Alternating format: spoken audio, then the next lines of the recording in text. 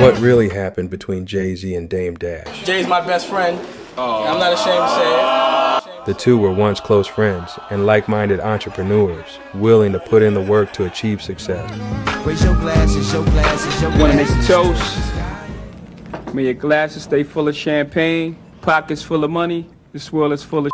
However, today they're publicly battling over the record label they spent years building. If you do want to buy one third of Roc-A-Fella Inc., I'm going to sweeten the pot. You get an original Roc-A-Fella chain from off my neck. We know what we've seen publicly, but it makes you wonder what really happened behind the scenes. You know, we all know that Jay Z personifies this, which is why he's actually the franchise right now.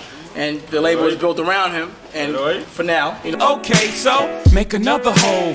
We all know Dame was an asshole, So we parted ways like Ben and J Lo. but is that enough to force the sale of a legendary New York record label to a Canadian or California artist? then a artist? toast to Roc-A-Fella.